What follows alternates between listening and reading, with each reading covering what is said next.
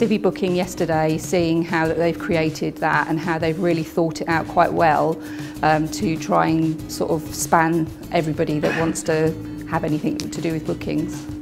I really enjoyed the Green Party one. Um, it was really useful to hear the things that have gone well, things that have gone not so well, and just get some really clear tips about what we're currently implementing Civi. So it was great to get tips on direction we should be going in and things to avoid.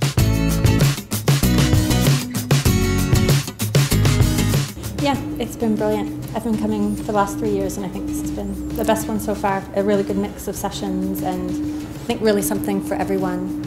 And this year I think a lot of user cases that we didn't see sometimes in the past, really interesting and exciting ways people are using the system.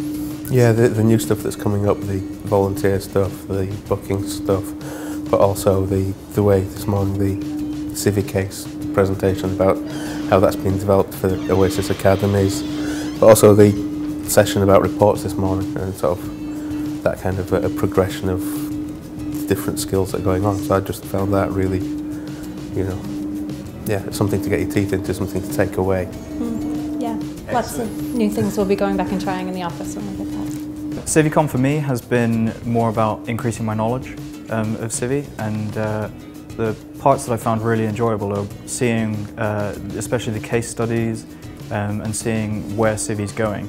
Um, really exciting developments with Civi Volunteer and Civi HR. I mean, just this morning's session on reports, I learned a couple of things that I had no idea of, and they're so powerful and so useful. Um, and uh, just getting up to date, finding out what the future holds. Civi Volunteer is very interesting for me. I have a client who wants to use that.